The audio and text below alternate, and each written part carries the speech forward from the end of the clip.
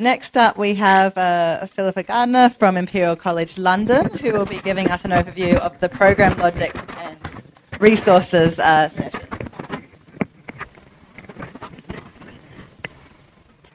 So I know Zach, and it's very weird to just go, hi, and then.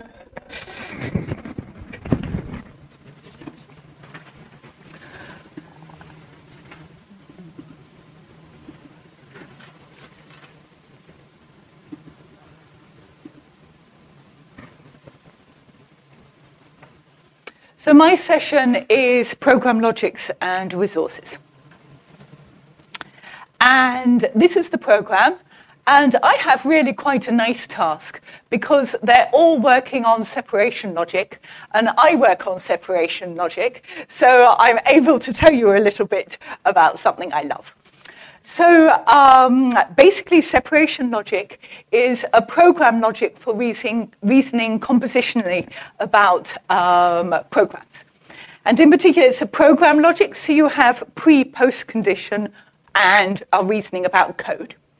And it's compositional in the sense that you can reason about program fragments and stitch them together. Now, quite often when we get uh, referee comments back, it's, uh, what do you mean by compositional? So people use the word compositional all the time. In um, the Hoare logic, we have compositional with respect to sequential composition, and we have a sequential composition rule for that. For Hoare logic, it actually is also compositional with respect to, for example, functions. It calls functions well, and concurrency, but only if you're manipulating variables. If you're manipulating the heap, you get into all manner of problems, and we needed to do so something better and different. And that came um, with separation logic. So with separation logic, you are able to reason about programs that are manipulating a, the heap in a way that you can um, work with the parts and then um, stitch the parts together. And this has gone all the way to people in um, several uh, companies now, but the key first one was uh, Meta. Um, that did this in practice. You can reason about the tiny function um, working with um, the resource of the heap that the function needs, never mind that you've got millions of, co- uh, of lines of code in the database, you can work with this little bit. It was a big aha step. There's other people that have done different techniques um, that are uh, doing similar things now, um, but this was a biggie. So, uh, three um, papers. I want to say a tiny bit more about separation logic in order to talk about what these guys have done. So, the technique and the reason why we can reason compositionally about program fragments is because we can work with little bits of the heap and put them together. You put them together using a separation um, conjunction rather than the normal conjunction of um, first order logic. You're working with predicates that describe little bits of the heap, such as a cell going from um, a location to a block. And you are stitching things together using something called the frame rule. Now, what these guys have done is um, do more. So basically, it started with um, Francois Pottier's work um, last year in last year's POPL. And what they do is, as well as having this um, cell, this way of reasoning about a tiny bit of heap resource, they also have, for a location, what does it mean? Grab all the point, all the locations that can reach this location. And they do that using a multi-set of locations. And of course, I'll let them um, say what they're doing. But what it means is that they can grab the idea of logical deallocation. If you have the cell, you own it, and you know that for your location, you've got nothing that's reachable to you, then you're allowed to deallocate. And you can deallocate and get some information about the size of the block that is now being freed.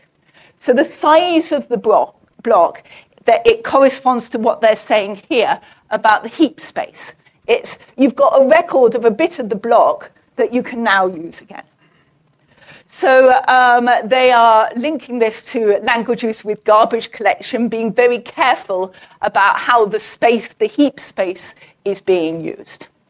And last year they did it for a very low level language. What you'll hear today is about a high level lambda calculus language. Uh, just to point out, Arthur, he's done um, software foundations for separation logic, the, that Coq series. The second one is um, this one. Now, these guys are macho. They're doing extremely real world stuff. And we've got this thing called refinement types. A refinement type is a type like an integer where if, an ele- if elements satisfy that integer, they must be greater than or equal to zero, something like that. So it's types and more information given by a logical predicate.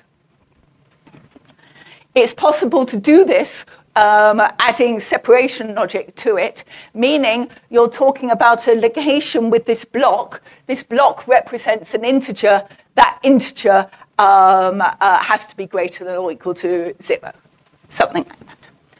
And then uh, what these guys are doing are saying we really want to do it in such a way that the code developers can think about it as if it's macho types. So they want the code developers to eventually be able to do um, invariant properties of program of loops using these sorts of types. So they're um, trying quite hard on this to such an extent that they're fully embedded with a group at Google and they're um, doing verification of a hypervisor, and in particular at the moment, a buddy allocator, a small allocator. This is possible, and this can be real world because of this guy, Kayvan. Kayvan finished his um, PhD and got his Viva on Monday, and it's all going fine because he's awesome. He took over 10 years to do his PhD thesis, and he is still working with Petzl um, in Cambridge. And his point is he's going to um, capture the C ISO standard as much as he possibly can.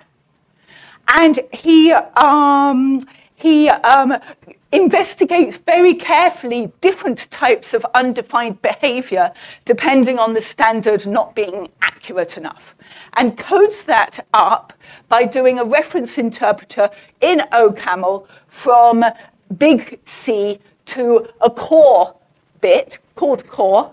That core bit is typed in this separation logic refinement types way. So if you want to go and hear more, uh, come to this session. The last one I'm going to talk about is conditional um, contextual refinement. So, contextual refinement is the following. You've got um, implementation, you've got some bit of code, and then you've got an, ab- you've got an abstract bit of code. So you've got program, abstract program. And you have the idea that um, the uh, program uh, P, uh, the, um, uh, the abstract program is a refinement of the, uh, of the um, implementation. And in particular, so you've got P less than the abstract program. When is that possible? When you've got context that um, that's why it's called contextual refinement, that closes up over both of them. The behaviors are the same in the sense that the behaviors of the program P in a context is contained in um, the abstract program A in the same context. And then it might not be for all context, it might be the closing context with the program being a program fragment that's open. So that's the idea of contextual refinement. And you have P less than A. But actually, you can have a transitivity relation and build these up using um, horizontal composition. So um, then the idea is you can do that R but Separation logic says you can do conditional stuff. If you have a precondition, then C has some behavior, and as long as it's terminating, you have um, a postcondition. So um, the uh, separation logic is bringing this conditional stuff in, and their job is to put the two together. It has been put together in the past, but not getting that transitivity relation. Now you can get the best of both worlds from um, this paper. Here's this session. I hope you come and I hope we see you there.